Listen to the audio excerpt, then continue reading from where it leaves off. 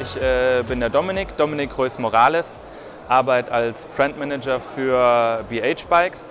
BH Bikes ist, wie, wie, mein Name vermuten lässt, eben auch eine, eine, spanische Firma. Wir bauen seit 1920 bauen wir Fahrräder, kommen aus dem sportiven Bereich, das heißt, haben ursprünglich mal mit Rennrädern angefangen, sind aber so im Laufe der letzten zehn Jahre dann doch stark auch in den, in den ganzen E-Bike-Bereich eingestiegen, weil das doch eben gerade so auch im, im Rahmen der neuen Mobilität eben der Markt ist, der dafür Fahrradfirmen ganz entscheidend ist. Unsere Firma hat insgesamt äh, um die 70 verschiedene E-Bikes, davon ähm, vier verschiedene Antriebssysteme. Das eine System ist eben unsere Evo-Serie mit dem Hinterradnabenmotor.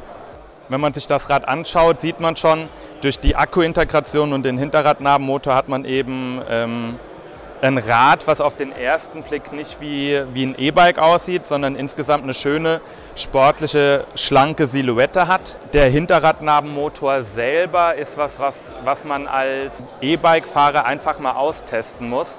Ich sage immer, es, es, fühlt sich an wie ein, wie ein sehr starker Rückenwind, weil die Kraft, die der Motor hat, natürlich direkt auf die Achse wirkt und ich somit beim Treten nicht direkt ähm, die Kraft spüre. Den Akku, den haben wir bei den Rädern hier im, im Unterrohr, kann man sehr schnell ausbauen. Hier auf der linken Seite ist ein Schloss, das macht man auf und nimmt dann einfach die komplette Akkueinheit raus. Man kann den Akku entweder, wenn man den jetzt mit in die Wohnung reinnimmt, kann man den Akku äh, so ans Ladegerät anschließen oder hat am Fahrrad hier unten auch nochmal einen externen Ladeport. Das heißt, wenn ich jetzt auf einer Fahrradtour bin, kann ich das Ladegerät mitnehmen ähm, schließe einfach das Ladegerät dann mit dem Fahrrad an bei der Einkehr. Ungefähr, also mit einer Stunde Ladezeit, Zwischenladezeit kann man dann 20 Kilometer mehr machen. Und wenn man anschaut, also bei den meisten Leuten ist es so, dass das Rad weiterfahren kann wie der eigene Hintern. Ne? Also es ist immer die Frage, was für eine Reichweite hat das Rad. Das ist ja ganz schwer, weil das von verschiedenen Faktoren abhängt.